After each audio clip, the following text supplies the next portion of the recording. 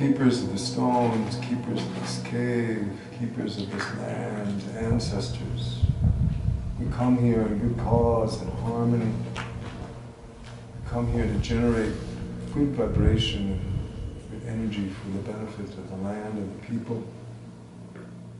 That they remember the sacred ways, the ways to walk in harmony and peace upon the earth. We are grateful to have been brought to this place that we may remember ourselves, that we may feel the good energy that has been generated here for thousands, thousands of years.